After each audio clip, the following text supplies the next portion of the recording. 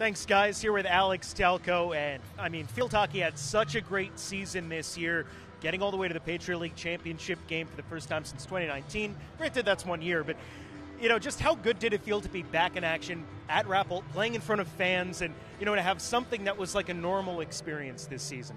Absolutely, it was incredible. The season was great. The team camaraderie was spot on. You know, one game that stands out to me is when we played Penn State earlier in the year. You know, I've never played in front of so many fans. It was really exciting. Um, we could feel the crowd's energy throughout the whole game, and it was really spectacular. It felt great to be back out there.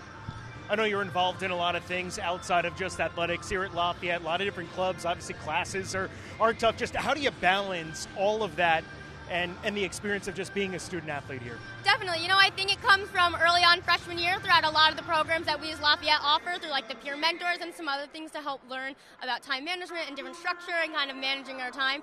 Um, so I definitely use a calendar, um, but definitely work to balance my time through like all that stuff. I know one of the one of the organizations you're involved in is the the SAAC here. How has that role changed with the pandemic and all of the different challenges just the last year and a half?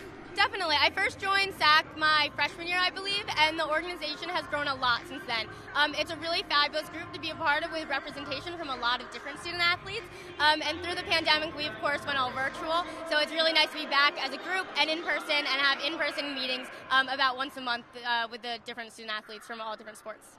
And what is it that you guys kind of all discuss? And, and do I feel like we hear about SAAC? Maybe people might not know exactly what it is that, that the committee does. Def- definitely. So it's the Student Athlete Advisory Committee, um, and this is a subset of the whole NCAA, So every institution has one, um, and we kind of have bi-monthly meetings to talk about everything from student athlete culture to things that we want to have an impact on. Um, actually, just the other day we had an event held for the sophomore class of student athletes to bring them together because they got a little kind of scammed with COVID of not getting to know each other. So we were in the back of the gym here, had a lot of food and some t-shirts for the class to bring them together. So we do a lot of kind of community related events um, as well as kind of things that we want to fix around the year. And I know you're graduating here in the spring. Just any plans yet for, for what you're going to do after graduating from Lafayette? Yes, after graduation, I'll be working for UBS, um, a Swiss bank in New York City. Um, and I actually was first exposed to the bank through the Lafayette externship program nearly two years ago.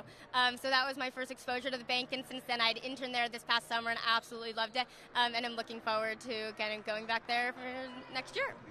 That's Alix Talkow from Lafayette Field Hockey. Gary John, back to you guys.